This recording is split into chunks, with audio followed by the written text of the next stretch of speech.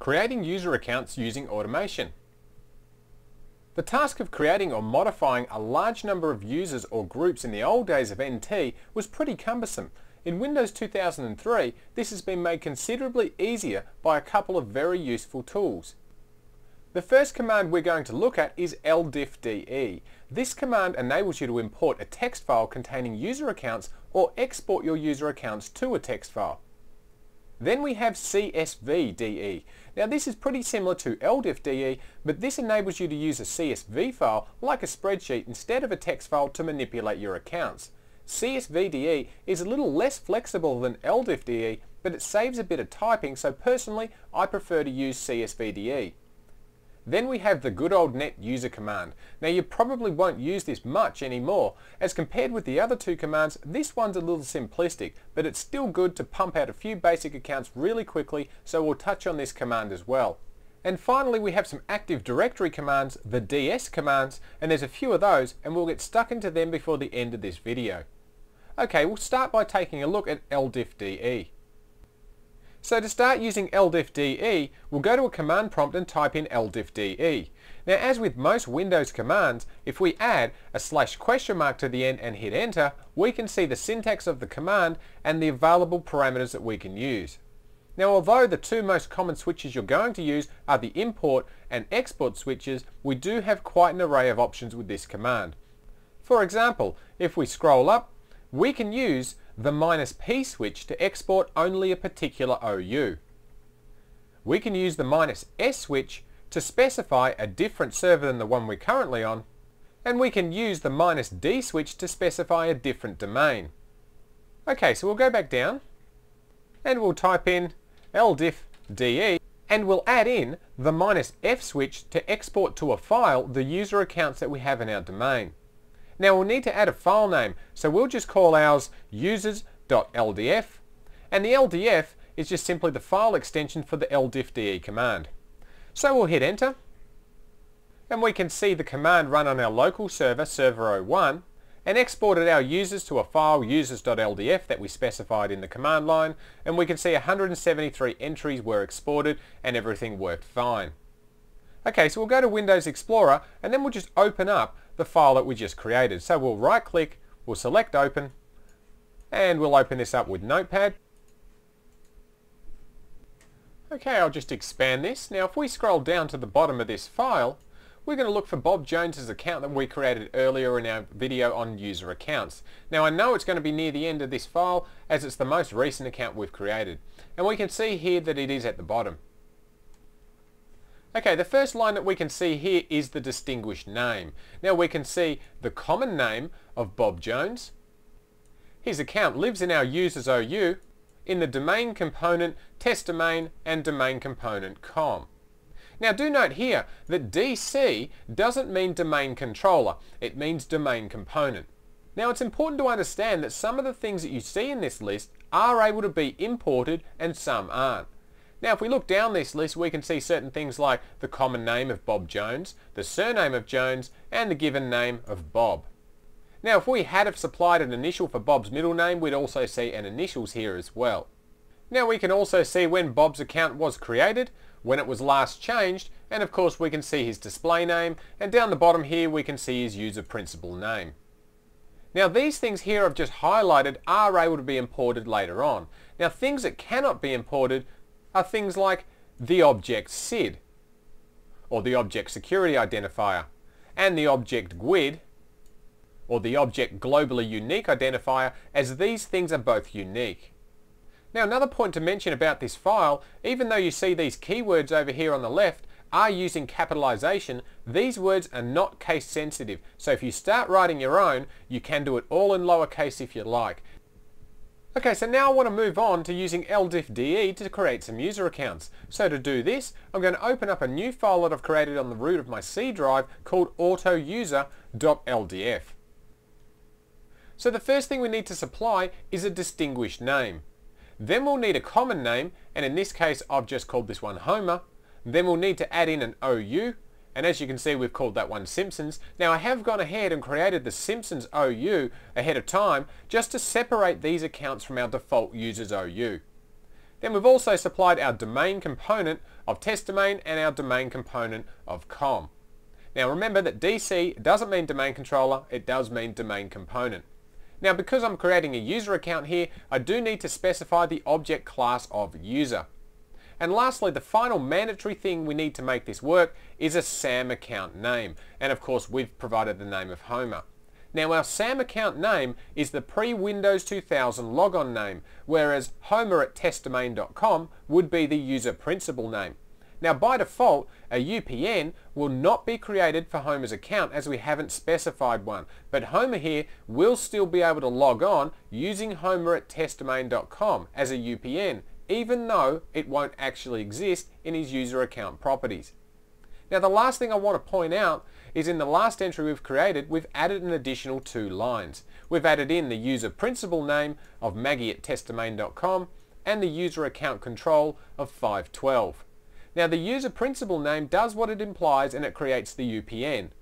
Now as we said earlier, Maggie would be able to log on using the UPN even though we haven't created it with these other accounts. But this here is just to show you the correct syntax.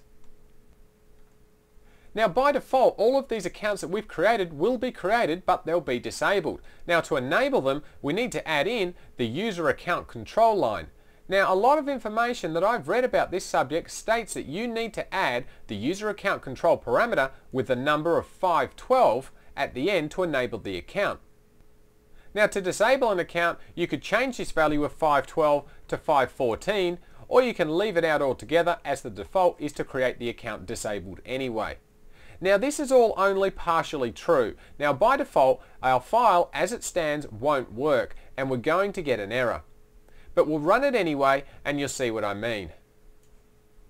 So we'll go back to our command prompt and we need to type in ldifde with the dash i switch to import a file and then we need to specify a file with the dash f switch followed by the name of our file which of course is autouser.ldf. Okay, so we'll hit enter and now as you can see, on line 17, our file caused an error. So let's go and switch over to Active Directory Users and Computers, and we'll change into our Simpsons OU, and we'll hit refresh. And here we can see four of the five accounts that we wanted to create. So we can see that Bart, Homer, Lisa and Marge were all created, and as we predicted, they are disabled as shown by the red X. Now the problem here with Maggie's account is that the new user account doesn't comply with our default domain security policy that requires a minimum of 7 characters in our password. So when we imported that file, it produced the error we saw on line 17. So what I'm going to do now is highlight all of these accounts. I'll right click and select to delete these accounts. And now we'll go back to our autouser.ldf file and we'll change this value of 512 to 544. Now we'll just save this file here and we'll go back to our command prompt and we'll rerun the command. Okay, this time you can see that our five accounts were modified successfully. So let's go and have a look at trying to understand why this occurred. Okay, so here's a brief summary of the options that we have with the user account control field. Now you'll note that we have a lot of options down the left hand side and hexadecimal and decimal values down the right. Now if we look over here on the right we can see the value of 512 which means a normal account. So when we tried to create Maggie's account we attempted to create a normal account which was blocked by our default domain policy now you'll probably note that there is no 544 as we used in our second example. So to arrive at 544, we can simply add these options together. So what we did here is to create a normal account which has a value of 512 and then we added the password not required value of 32. Now this comes to a total of 544. So for Maggie's account we effectively said create a normal user account but don't ask for a password. Now if you think back to our earlier video on user accounts, you will recall that setting local user properties will override the default domain security policy, and that in effect is what we've done here. Okay, so let's go back to our Active Directory Users and Computers MMC, and we'll hit refresh. And now we can see we do have five accounts created, but Maggie's account is the only one that's enabled. So remember, if you plan on using automation to create a great number of accounts that you want to be enabled immediately, you'll need to set the appropriate options in the user account control field of the imported LDF file. Now I'm just going to select all these accounts, I'll choose delete, and now we'll move on and take a look at CSVDE. So the first thing I'd like to do is go and open up a CSV file that we created earlier and show you the difference between the text file we used in LDIFDE and the CSV file we're going to use here in CSVDE. Now before I get started on what's in this file, you should take note that the file has been saved as a CSV file or a comma separated value file. So make sure that when you create one of these, you do a save as and save the file as a CSV file. Okay, so I'll open up the file now as we can see here across the top row we've got a few columns. We have a distinguished name, an object class, our SAM account name, our user account control and of course our user principal name. Now I really like using CSVDE because as I mentioned at the start of this video, using CSVDE we can also use Excel and it will save us a lot of typing. So for example, if the Simpsons family suddenly found themselves much, much larger, we could simply use the Excel autofill tool to drag and copy down a whole bunch of these cells and most of the typing's done for us. Now we'd still have to enter in our name of our user in our SAM account name and user principal name and so on, but this feature of Excel has saved us some considerable typing. Now you may note that under Bart's account I haven't included a SAM account name. And no, I haven't forgotten about it. I just want to show you what happens when we run the CSVDE utility with the SAM account name missing. Okay, so we'll go back to our command prompt and this time we'll type in CSVDE and then we'll use the dash I switch to import a file.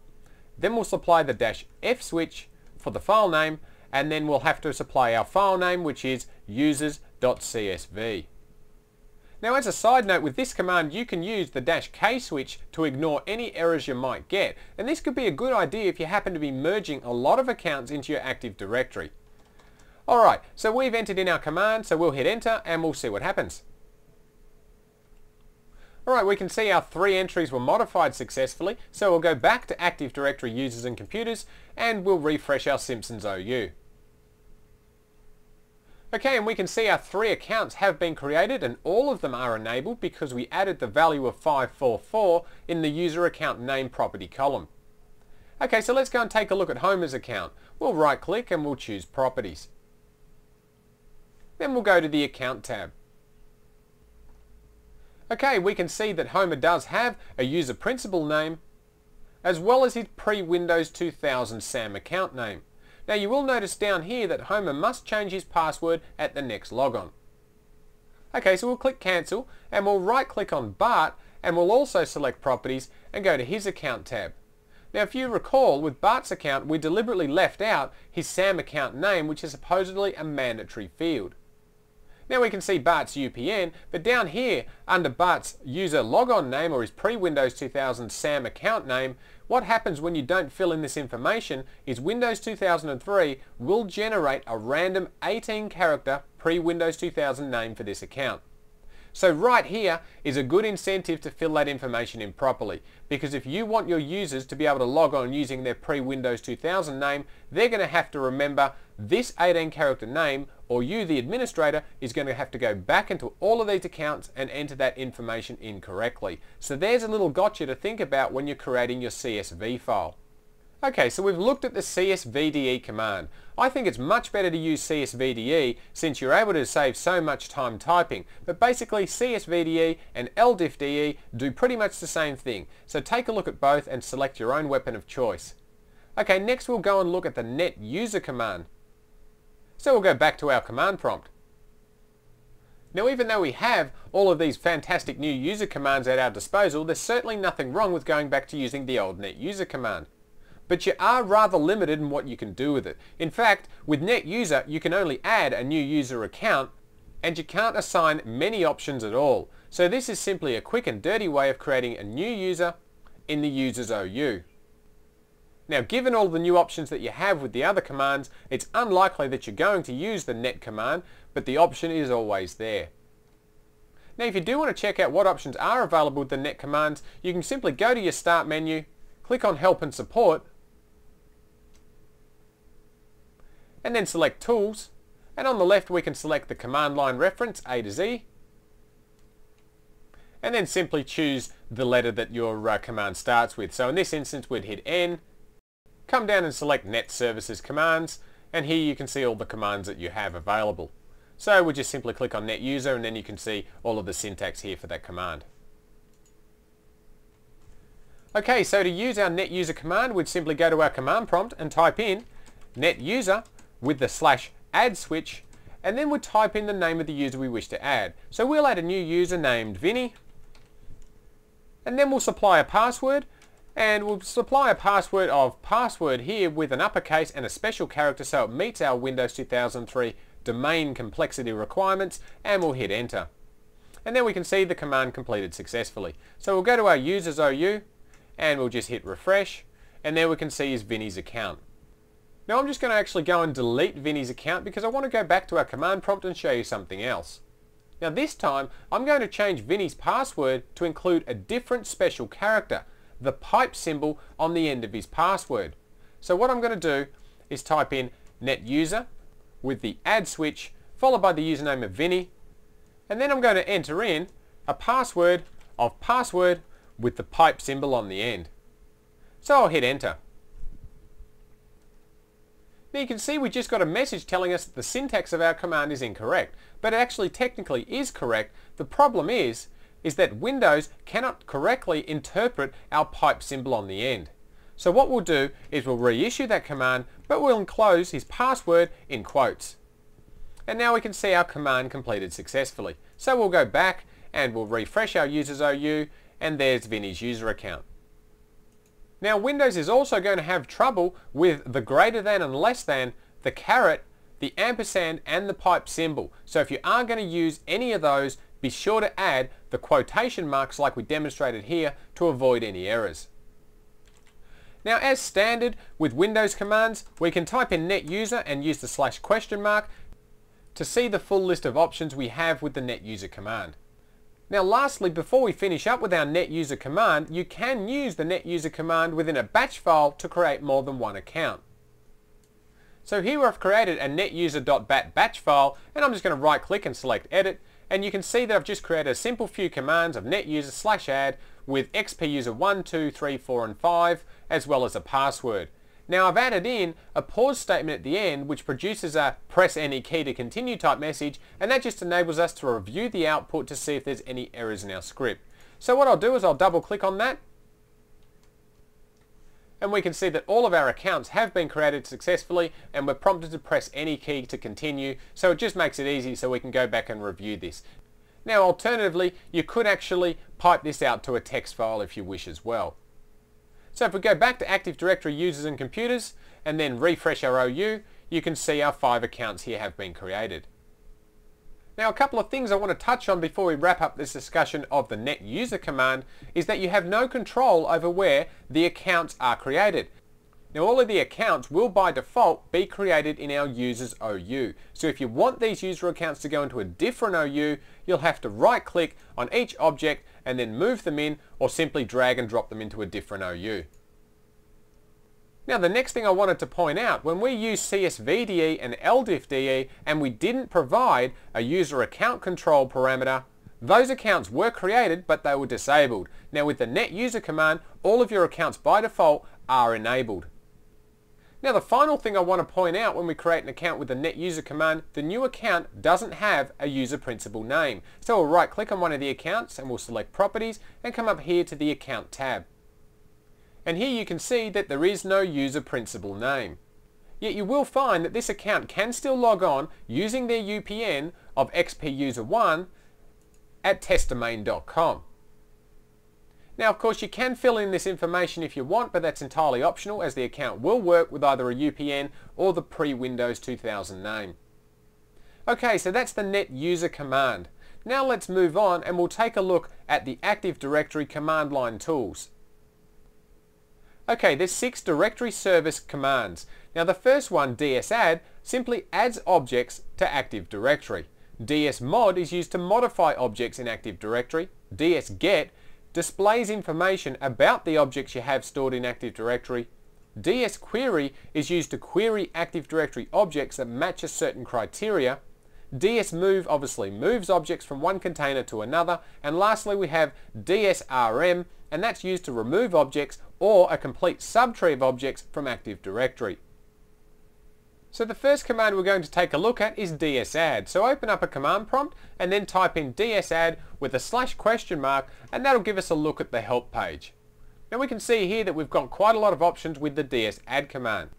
Now we can not only add users, but we can also use this command to add computers, contacts, groups, OUs, and quota information. Now we can also use the inbuilt help to bring up help for sub-items like users for example. So here we'd simply type dsadd user slash question mark. Okay, so in this example we want to use dsadd to add a user account, but before we do this, let's start from scratch and add a new OU first, and then we'll create a group inside that OU, and then place this new user account as a member of that group. So at our command prompt we'll type in dsadd OU, and then we'll call this new OU oh, I don't know, how about something like uh, Microsoft? Okay, next we'll need to add in our domain component of test domain and then our domain component of com. And then we'll hit enter. Okay, you can see our dsadd succeeded. So we'll go back to our Active Directory users and computers and we'll hit refresh and there you can see our Microsoft OU's been created. Okay, so we'll go back to our command prompt and this time we'll create our new group. So again, we'll type in dsadd and we'll follow it by the word group. And of course, we need to give our new group a name. So we'll call this group bosses. So we'll give it a common name of bosses. And then of course, we want to place it inside our Microsoft OU. So we'll enter OU equals Microsoft. And then followed by our domain component of test domain. And of course, our domain component of com. And we'll hit enter. And again, we can see our dsadd command succeeded.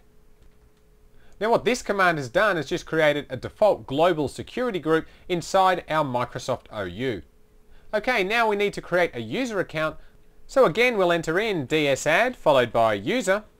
And we'll give this one the common name of Steve inside the Microsoft OU and followed by the domain component of test domain and domain component of com. And we'll hit enter.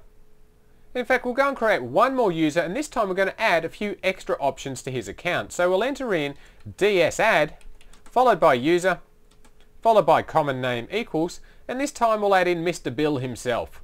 So we'll type in Bill. Again we'll supply the OU of Microsoft, the domain component of test domain and domain component of com. Now but this time we're going to add the hyphen PWD switch and then provide a password for Bill's account. And we're also going to make Bill a member of our bosses group. So we'll enter a hyphen with member of and now we'll supply the path to the bosses group. And that's in the Microsoft OU followed by the domain component of test domain followed by the domain component of com and we'll hit enter. And again, we can see that our dsadd succeeded. Okay, so now we'll go back to Active Directory users and computers and we'll refresh our Microsoft OU. And inside here we can see we have two user accounts and of course the bosses security group. Now you'll probably straight away notice that Steve's account is disabled and that's because we didn't supply a password and we can see that Bill's account is enabled. So let's go and take a look at the properties of Bill's account. So we'll right click and we'll select property and, and there's two things that I want to show you. So we'll go to Bill's account properties and the first thing here to notice is that Bill doesn't have to change his password when he first logs on and this is the default setting. Now some of the other commands that we looked at, this box is checked by default, but with dsadd, the box isn't checked when we supply a password with the command. So that's something to look out for. Now by the way, if you do happen to want Bill to be able to change his password when he first logs on, you can use the dsadd command and then just add the must change password with a yes after it and that will force Bill to have to change his password when he first logs on. Now the second thing I wanted to show you about Bill's account, that is indeed a member of the bosses group. Okay, now let's go back to our command prompt and we'll go and take a look at the syntax of our ds add user command again because there's a couple of things here that I want to point out. So we'll scroll up here and take a look at this help and we can see two switches here, one for creating a home directory and the other for creating a profile path. Now this home directory and profile path switches don't work. Now the online help will tell you to use a UNC path. So let's just scroll back down and here we can see that the home directory switch is telling you that you need to enter in a slash users slash dollar sign username dollar sign followed by the name of the home directory. Now what happens here using this switch is that it actually interprets the command as a literal and every user that you create using these switches will have a path which reads dollar username dollar and not Bill or Steve or Bob as we might expect. Now there's really two solutions here. The first is whether you've left the home directory or profile path parameters in or out of your command, the first solution is to go into each account and update this manually. Now the second solution is to use the dsmod command to modify each account once it's been created. Strangely, the dsmod command works for this, but dsadd doesn't.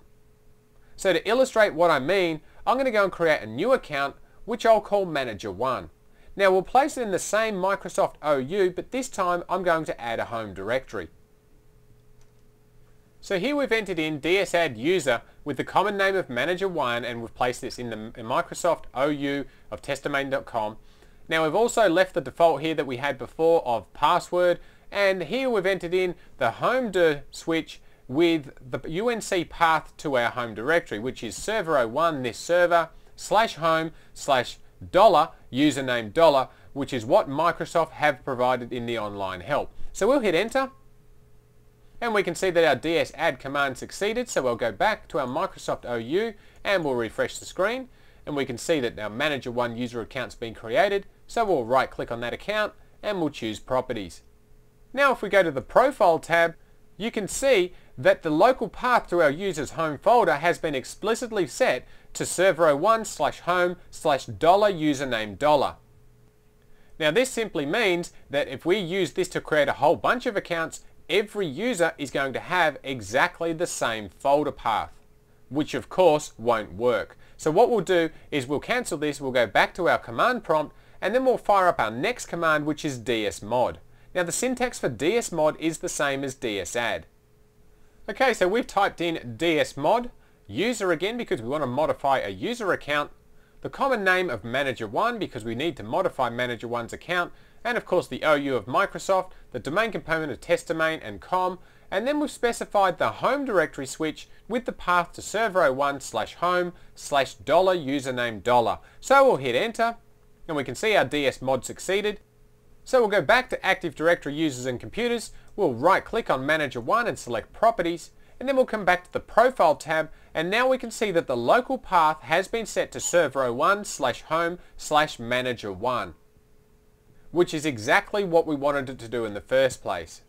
Now by the way, modifying this user account didn't overwrite any of the other fields that we set. So to prove this, we can simply jump over to our Member Of tab and we can still see that Manager 1 is a member of the bosses group. Anyway, so be aware of this big gotcha with the ds-add command and remember that to overcome this problem, you're going to need to use dsmod to modify the properties of the account.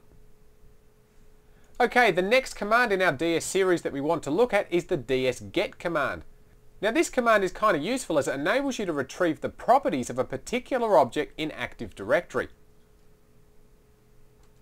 So for example, to find out what home directory the manager1 user account has set, we could simply type in dsget user common name of manager1 in the OU of Microsoft with the domain component of testdomain and the domain component of com and then we'll enter in the minus hm switch and we'll hit enter and we can see that the response given us back was server01 slash home slash manager 1. Now the options for our ds get command are the same that we saw in the ds add commands, so again use the online help to see what sort of properties that you can search for. Now our next DS command is DS query. Now this one here is really great as it enables you to search for a list of objects that match a certain criteria and then using the pipe symbol you can push the output of this command as the input of a DS mod command. So let's look at an example first. We'll use the DS query command to tell us which users are contained in the Microsoft OU. So we'll enter DS query with the user switch followed by our OU of Microsoft, and then our domain component of test domain, domain component of com. And we'll hit enter. And you can see the response is that Steve, Bill and Manager1 are all members of our Microsoft OU. Okay, now we already know that Bill and Manager1 are members of our bosses group. Now let's say we want Bill and Manager1 to be part of a new group. And let's say we'll just call this group sales. So what we'll do is we'll quickly go and create a new group using the dsadd group command. So we'll just enter in dsadd group, followed by a common name of sales, followed by the OU of Microsoft, our domain component of test domain, our domain component of com, and we'll hit enter. And we can see that our dsadd succeeded. So if we go back over here and refresh, we can see we now have our sales security global group. Okay, so let's go back to our command prompt and now we'll use the same ds query command to tell us what users we have in the Microsoft OU and then we're going to use the pipe symbol to pipe the output of this command into another one. So we're going to use our ds query followed by user, followed by the OU, the domain component of test domain, domain component of com, and then we're going to use the pipe symbol to pipe the output of this command into a ds mod command. So our ds mod command will be ds mod group, the common name of sales, the OU of Microsoft, with the domain component of test domain, domain component of com, and then we've added the add member switch. So basically the output of this command will query all the users that we have in our Microsoft OU. Now once it's found all those users, it's going to modify the group of sales and add all the members that we found in our DS query user. So we'll hit enter and we can see our DS mod succeeded. So we'll go back over here to our Active Directory users and computers. And now if we go and right click on Bill's account and select properties, and then we'll come up to the member of tab, we can see that Bill is now a member of the sales group as well. In fact, if we go to our sales group and we'll right click and select properties, we'll go to the members tab and we can see that Bill, Manager 1 and Steve are all now members of the sales group. So you can see the flexibility of using a query to find objects and then using the pipe symbol commands to push the query as an input string to the dsmod or even the dsmove command which we're going to look at next. But first I'm going to go and right click on my testdomain.com and I'm going to select new organizational unit and I'm just going to call this one marketing.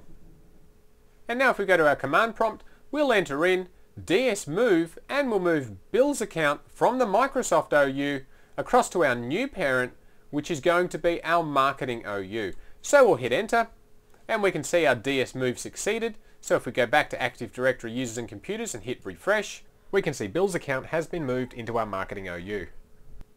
Okay, the last DS command we're going to look at is dsrm, and this command is used to remove objects from Active Directory. Now the syntax is similar to the rest of the DS commands, so in our example, we're going to go and remove Bill's account from our marketing OU.